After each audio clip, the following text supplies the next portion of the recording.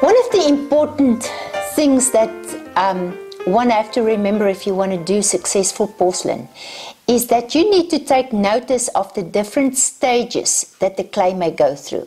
For that reason, I always love to uh, encourage the students to make pinch pots uh, because there are certain times that it's possible for you to do certain things. I start out when the clay is still very soft. If I can do a print in there and almost squish the clay still between my fingers. It is better to use a blunt tool than it is to use a sharper tool. A sharp tool will carve into the clay and not give us what we want. On the other end, if a piece is fairly dry, which this one is, uh, it's not dry, it appears to be dry, but it's dry enough for me to trim it at this stage.